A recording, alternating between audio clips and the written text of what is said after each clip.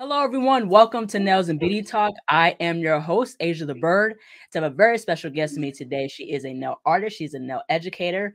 She's a Julie K nailpreneur. Please welcome Tips X Tara. Hello, Tara. Welcome to the Hi. show. Hi, everyone. Um, Yo. glad that you asked for me to be here today to do an interview with me. So um, we can get started. All right, cool, cool. But I definitely want to get started by asking where you originally from and tell us about your upbringing. Okay, so I'm from Connecticut, born and raised. Mhm. Um, I've always been into anything beauty, really. Um, I've always loved fashion. Um, most people that truly knows me, they know that I do love makeup as well. Mhm. Um, so I know if I wasn't doing nails, I know that I probably would be a makeup artist. so I do love makeup. I'm the guinea pig when I go to Sephora or anywhere.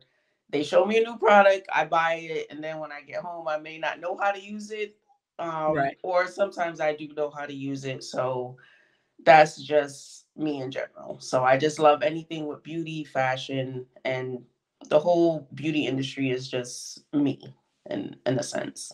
Yeah, that's really, really cool. But I definitely want to get into just in regards to like, you know, with beauty. Like, what's like your fondest memories when you were younger, just in regards to beauty? Well, my mom has always been into beauty. Um, since a kid, we've always traveled. Um, every summer, she took me on trips. Um, at nine, I went to Europe. Um, um, she gave me a very, very good life. I will definitely say that. Mhm. Um, I've seen many, many parts of the world. I've always been traveling. She's always been a Bloomingdale's kind of woman. Um, if you're from Connecticut, years ago, we used to have a store called G Fox. Mm. Um, oh God, I may be showing my age, but um, it's like just think of like a Bloomingdale's or one of those Mhm. big major stores like a Macy's. So Right. I believe Macy's took over them, but Mm. It's used to be the main it was a very big store that many people did know about. And we would always go shopping in there from when i was like a toddler. Um, Mhm. and she's also very much into fashion and stuff like that. So i believe i get it from her and my aunts and all of them. They're very much into beauty. So i Mhm. believe it's just something i was raised into and then i have a natural liking for it as well Tell us about your experience of like getting into uh, nail school. Like, what has been your experience in terms of uh, nail school? Well, I'm from Connecticut, so they didn't pass the law for nail techs to be licensed until about Mm. maybe two or three years ago. Um, I did go to nail school, but I just went basically for, you know, Mhm. just to be certified and to have the paper behind your name. But what I Mhm. will tell people, um, what you see on my page is not learned from nail school. Um, Mhm. It's more so me doing a lot of hands-on and paying for outside nail classes with other nail artists. So I've Mhm. paid for classes with um, Poochie's Nails, which she's in Georgia. I've taken classes with Helen. She's a big, major nail artist. I love her work. Um, Right. During the pandemic, there were so many other classes that I've paid for, like just random different people that I admire their work. I would pay for those classes and then I will put into action after the class. Um, just like if you're in college, you know, if you're Mhm. going to class every day, but if you're not going home to study and retain what you learned, then there's just no point of you going to class. So I always like to Mhm. tell people you're taking a class, but are you reinforcing what you learned? Are you going back home? Are you practicing again? Are you trying to Mhm. learn? Because you can't remember everything from that day and think that you're gonna just automatically have it in front of a client. It doesn't work like Right. that. Yeah. So Mhm. I've taken many, many, many classes. Mhm. Um, I've even traveled to Jamaica for a course before. Um, Really? Yes, I Wow. took a class with Nails by Marsha. Um, Mhm. I've taken, like I said, Helen, um, Mhm. Poochie's Nails. It's just the list Mhm. goes on and on and on. So I would say within my first maybe two to three years, I invested a lot into classes. Mhm. Yeah. So Yeah, yeah, absolutely. I think self study is very, very important. Mm-hmm. And that's what I had to do because I'm a licensed cosmetologist and I took, of course, you know, cosmetology courses in high school. But mm-hmm. even before and after I took cosmetology course, I had to study a lot of, about nail stuff. Yeah. So, you know, they're going to teach you the basics, but you have to learn the vast majority of what you need to learn. Yeah. Yep. So a lot of it goes into yourself. Um, mm-hmm and one thing I I would like to clear with like even with social media, they're like, you know, some people feel like, oh, when they see someone that does nails say that they're self-taught, that they're just not licensed, when most people don't understand the license doesn't teach you what you see on Instagram. So those Instagram nails that you're seeing, we're all self-taught. Yeah, we probably mm-hmm. went to mm-hmm. school to get the license behind our right. name just so we're, you know, legal wise we are legally able to do our job and to charge people. But those nails that you see on Instagram that's getting the thousand likes or a bunch of views and stuff like that, they had to teach themselves to do that. That's not something right. you're going to learn in nail school. Mm-hmm. They mostly focus on sanitation, you know, mm-hmm. keeping your area clean and, you know, just the study of the nail itself and right. like certain things that can spread onto the nail if you know if it interacts with certain germs or whatever the case may be but it's not going to mm-hmm. go into detail on how would you put stones on like cardi b nails type so oh, right right yeah so you're not going to learn that kind of stuff in nail school yeah yeah it's not to that extent no. you know so there again you have to learn a lot of stuff on your own because they only going to teach you like the bases like you know manicures mm-hmm. pedicures yep. you know sanitation mm-hmm you know, and that's pretty much it. And then you're pretty much out the door. yep. And you're on your own, and that's it. So yeah, yep. that's that's what it is essentially. But I want to switch gears and talk about um your private nail studio. So you have your own nail studio, and I definitely want to ask, what has been the journey like having your own nail studio? Wow. Um I did it scared. um I just took a leap of faith, honestly.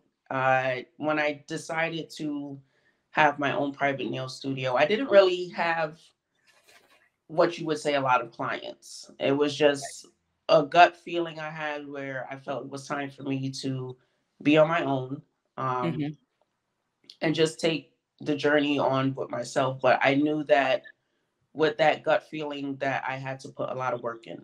And that's what I did do. I mean, mm-hmm. sleepless nights, nonstop practicing, nonstop researching. Mm-hmm. I mean, and I would say even still to this day, I barely get sleep. I'm a person mm-hmm. I don't mm-hmm. really get much sleep because my mind is just always going and thinking of what can I right. do next to get to that next level. Um, right. But I'm not trying to burn myself out at the same time. Right. Um, so in the first two years or whatever the case may be, I did have a focus on, you know, making sure that I would have all my clientele that I need to have because I have to pay bills. So mm-hmm. I would make sure that I'm focused on what the average person wants because that's mm-hmm. the key to making sure you stay in business. What is it that people want? What is it that I'm good at? I know that if my nails are shaped nicely, the cuticles are clean, and mm-hmm. the polish is smooth and not lumpy like the chop shop that they're used to going to, mm-hmm. um, I'm gonna have clients all the time. You know, right. and what I would like to add in is that you know what you see on social media, that's not the average client for a day to day person. Yes, right. it looks pretty, or unless you're in that type of you know environment say mm-hmm. if you're in California or Miami or New York, or right. something in that kind of sense, then maybe you may have a lot more clientele to have the Instagram look. But right, your day to day client where you you know can pay your bills and take care of your household and your family mm-hmm. is that woman who's going to work her nine to five all the time, has her kids at home, and she just wants a nice, clean manicure look. Or. I had a lot of nurses in the beginning as well. Um, just people in that kind of profession, the medical field, they're not going to go to work with 10 stones all over their nails. But if you can give mm-hmm. them a nice, polished, clean look, you're sold and they're not going to leave you. So they're there with you for a lifetime. Um, then, as I started to, you know, shift, like I said, I'm always thinking of what I want to do next. Um, then that's when I shifted into saying, you know, how can I build my brand? How can I get tips by Tara to be known like how you see a Chanel symbol? You see Chanel, right. you know that's Chanel. So then I mm-hmm. started to focus on, okay, I'm still going to continue doing my nails, but what can I do to have the audience of people notice that's a Tips by Tara set? Um, you know, if I want this type of look, I have to get that mm-hmm. from Tara. That's not mm-hmm. something where, you know, I would just go to any plain Jane place. That's just right. like I use Cardi B's nail tech, for example, a lot. Um, if you know you want the bling, you're gonna book an appointment with her. You get what I mean? Right. She's set in stone what her style is. She's branded herself in that kind of way. So if you know that's what you're looking for, that's where you need to go. That's where you need to book the appointment. That's where you're going to get the job done, and that's where you're going to get what you're looking for. So that's what led me into start looking into um, competitions, like when I did NTNA for season eight. Um, mm-hmm. And the reason I would say I picked that one because I know how intense it is before you're even selected to start the competition. Um, mm-hmm. A lot of people don't know that, yeah, you may see the top 13, but there's a process that goes along before they even select the top 13 before you're actually even in the competition. So exactly. it's like I told myself if I can do that, then it kind of gave me a confidence to say, okay, well, I do know how to do nails. You know, you're looking at your work every day, but you're not really knowing, am I really that good or do people really like my work? So I wanted to just get a different opinion from people who are actually in the industry and who's been in the industry for years and they actually fully and know and understand nails. Um, at that mm-hmm. time when I joined into the competition, I was only maybe, I would say, four or five years into nails. Um, mm-hmm. So when I would look at, I, I shouldn't say competitors, but when I just look at other people who do nails and I admire their work, they have like 10 plus years in. Right. So I'm still like sort of a baby in the industry. And I'm still I still consider myself a baby um compared to the people that I'm working around now who's been doing nails mm-hmm. maybe 15, 20 years or whatever the case may be. Right. I haven't been doing nails that long. So I still have a lot to learn along the way. So mm-hmm. with having the nail studio, it's built my skills to know how to do business, mm-hmm. to know how to get customers, how to retain clients, and how to maintain my work. Right. So that's been my journey as far as with having a nail stu- studio. And I'm happy I did take that leap on my gut feeling to, you know, go out on my own and see what I can do. Mm-hmm. Yeah, absolutely. And that's the thing that I liked about NTNA because it really mm-hmm. pushes you to really extend your creativity you know mm-hmm. how far could you extend your creativity and your imagination and and that's the thing. Now the only thing with ntna is that i wish there was more clarity in regards to what could be worked on possibly or like a full breakdown of like okay this part needs to be worked on and things like that. So i think it's just a little bit of the clarity um regards to the mm-hmm. judging in, in my perspective. Um but but i really like the competition because like i said it you know it does challenge you. You get to work with different things yes you know so that was really really cool. And I think one of my favorite challenges I would say is the first challenge that I really liked. I forgot what it's called, but it's like you do like a set of 10 nails and you do like Oh yes, I remember that one. Yes. Mm-hmm. I would possibly say that's my favorite one too. Um mm-hmm. like I said before, this was my very first competition. I've never done a competition before. So I'm like, oh my God, am I gonna make it through the first challenge? um, right. because people don't understand that it's sort of like a America's Next Top Model type thing. So right, you do the first challenge and you can be eliminated after that. Mm-hmm. So it was sort of like, okay, Tara, can you do the first challenge and still make it to the second, you know, second challenge, mm-hmm. and not be at the bottom where you, you know, you have a possibility of still being eliminated. So mm-hmm. once I got through that first challenge, I was like, oh, okay, so I made it into the competition. I'm actually doing it, and I got to the first challenge, and I got to the second one without being in the bottom. I was like, wow, right. this is this is a big, big deal for me. Uh, you know, maybe for some other people it wasn't because you know they've probably done competitions before in the past, but as far as for me, I never did any before, and for me to mm-hmm. have been so new into the nail industry like that and to be in something so big right in that kind of way and exactly. to have people you know like CND and everything judge me and mm-hmm. even beth who's been in the industry for years it was just like wow mm-hmm. it was mind-blowing for me so i i think it was just more so a lot of shocking for myself to just be like wow you're really mm-hmm. doing this mm-hmm. yeah yeah yeah right exactly now would you do NTNA again or are you pretty much just like nah well honestly um like I said, it was a challenge for me to see if I can do a competition. Um, I've never done any other ones before, but the way how my schedule is now, mm-hmm. I don't have the time to do any any competitions. So whether it's NTNA or any other one, it's just not even fitting my schedule with right. me working back and forth in different states because I'm not just working in Connecticut anymore. So mm-hmm. I wouldn't even have the time to you know, to know how to sit and do that. And being that I did it already, I know mm-hmm. that it takes time. You know, mm-hmm. you have to think of your design that you want to make, then you have to right. record, and then you have your essay that you need to write and yeah. stuff like that. So you I wouldn't have the time to do NTNA or any other, you know, competitions at this present time. Mm-hmm. So, you know, I think it's something you, you always want to keep yourself going in something who knows if my life wasn't set up the way that it is now, maybe I would. Mm-hmm. But I mm. know right now I just I wouldn't be able to, right, to right. handle that. I know I probably would be eliminated after the first round because I just wouldn't I wouldn't put the amount of effort that I really need to put mm-hmm. into it. Yeah, that's so understandable because like, you know, it's so much stuff going on you know that, yeah. that you, you know you know you're working with and things like that but i want to go ahead and ask like what were some of like your favorite challenges besides the first challenge?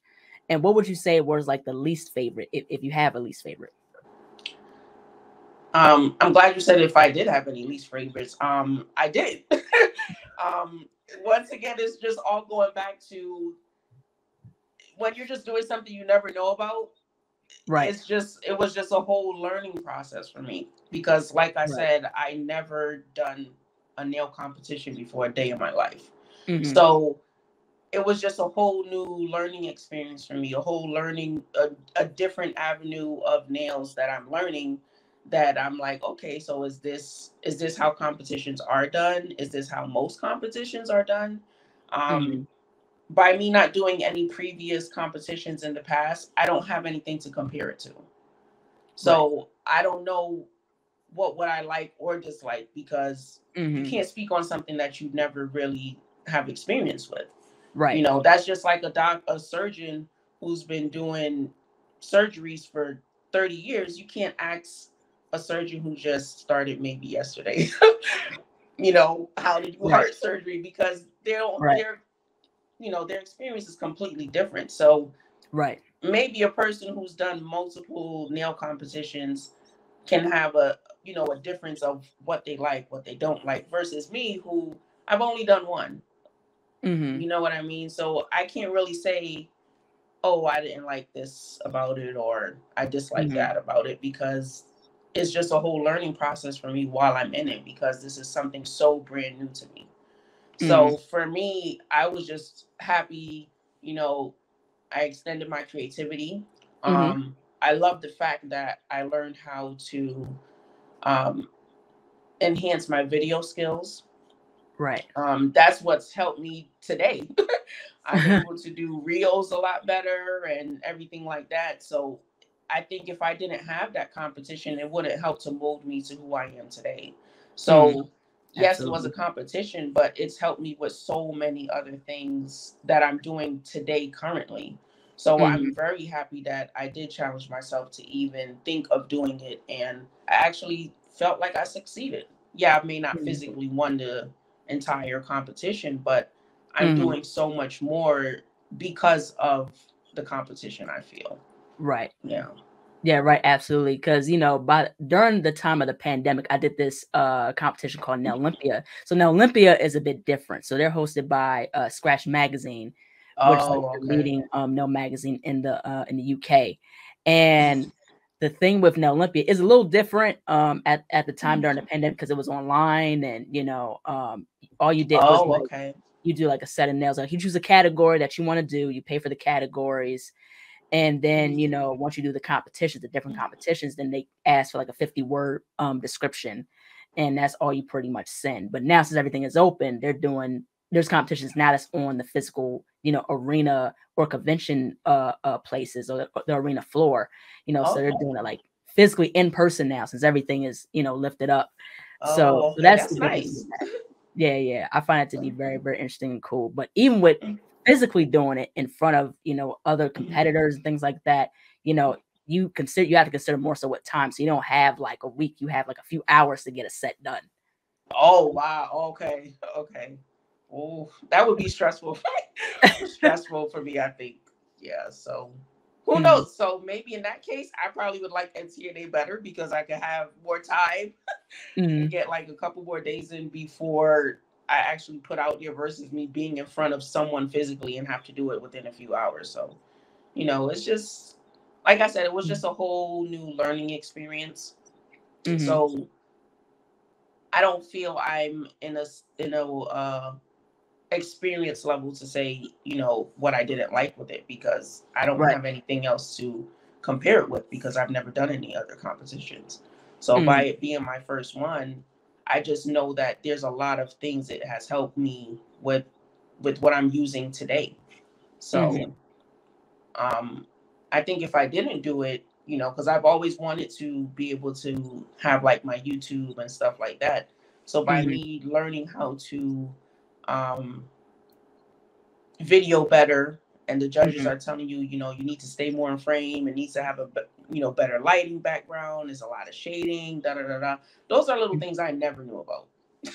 Mhm. so for me to get that information and for free, because Right. you know a lot of people charge you for everything now. So for me to have access Mhm. to that kind of, you know, and these are people that are going to tell you the truth, you know, to get that kind of information for free and be able to take it along with me on my journey for the rest of my nail career, I think that's just like the best gift in the world.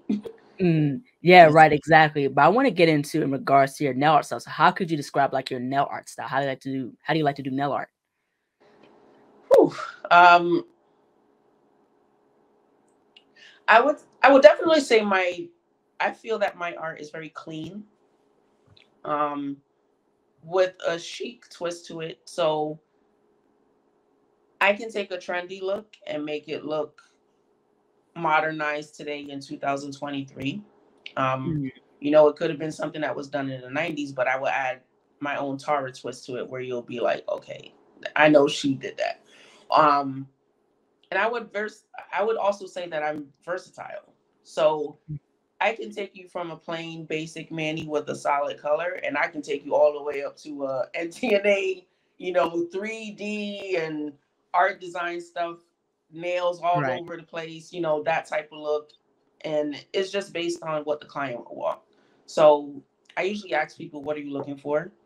Mhm. and then I I get an idea of okay, so this person is not into too much heavy art because not Right. everybody's into that. Um, this person may be a little more mellow. This person is into the extra stuff, so I, I can Right. throw some bling on her and you know make it more shiny, and she will love it, the glitters and everything. While there's some other Right. people who are like, I don't want any glitter, I don't want any shine. Just give me a simple minimalist look, and I'm okay with that. So Right. I, I would consider myself very versatile. Um, like I said, clean, chic type looks, and Mhm. I can still keep up with trends at the same time. So, all in one, I would consider that versatile. You know, because there's some people who like to just focus on just one specific type of art. I'm a Mhm. person I don't like to focus on just one thing. I will get bored Right. quick. So I like to know how to do many different things. It just keeps me going as a person. Mhm. While some people they'll tell you, "Oh, just focus on one thing." When for me, I don't like to work like that. I just like Right. to know how to do multiple different things and right, exactly. to keep that keeps it fun for me. Yeah, yeah. Yeah, I think with versatility, that definitely keeps things interesting, especially when you post your Mhm. work. You know, they see like, oh, you could do a different ton of stuff instead of just one thing. Yeah. Yep. Mm, yeah, absolutely. I want to get into in regards to editorials. Like, what has been your